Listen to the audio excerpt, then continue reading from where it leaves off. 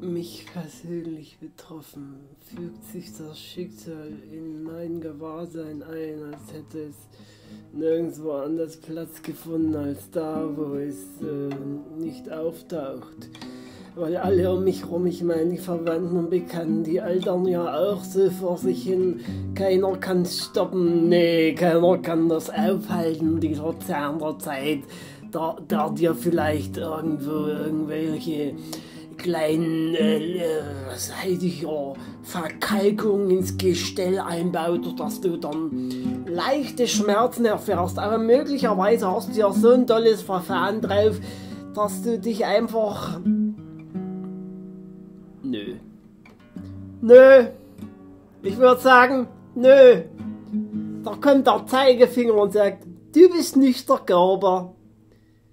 Und da sagt einfach nur ich ich ohne Infektion. Und der dritte sagt, fuck you, ich bin da, ich bin da, fuck you. Und der erste sagt, der sagt, ich! Und sagt nichts dazu. Der zweite sagt, ich bin, aber ich bin nicht, nicht diese, nicht das, ich bin nicht der Körper und nicht der Geist und nicht der Schweiß. Und die, die ganze Faust sagt, ich bin das, was ist.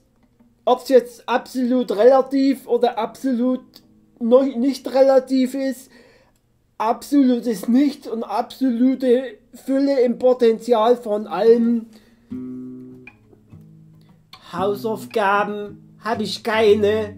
Doch, ich muss mal mich damit anfreunden, dass das Leiden auch Spaß macht, wenn es keiner hat.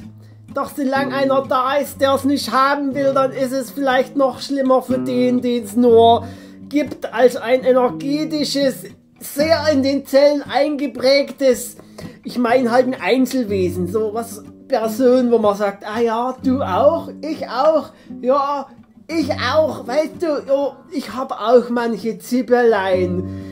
Und mir geht's manchmal auch nicht so gut. Doch manchmal da zieht's mich so in die Ekstase rein. Ich hab so Tänze und ich flutsch dahin im, im Kanal äh, und da bin ich auf einmal der Flow und ich hab ihn nicht mehr, weißt? Äh, dann kommt einer daher, der wieder sagen, hey, du, ich kann doch vielleicht Bescheid sagen, wie du dein Ich verlassen könntest, aber leider gibt's dich dann nicht mehr und dann hast du nicht den Flow, den du eh nicht hast, weil sobald du versuchst, den Flow zu haben, ist es einfach nur ein Krampf.